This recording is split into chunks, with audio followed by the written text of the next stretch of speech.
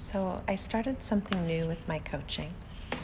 Um, it's been two years that I've switched uh, completely from teaching technique to coaching creativity and helping people work through creative blocks, old stories, and habits that are outdated, a lot of healing things, a lot of like checking our belief systems, things like that. And um, over the past two years, I've had a few students that I felt had a lot in common.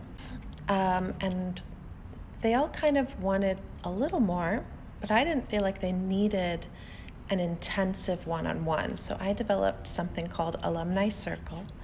And I, um, it's an experiment, and I just had the first session. It's going to be over a year, quarterly meetings over Zoom.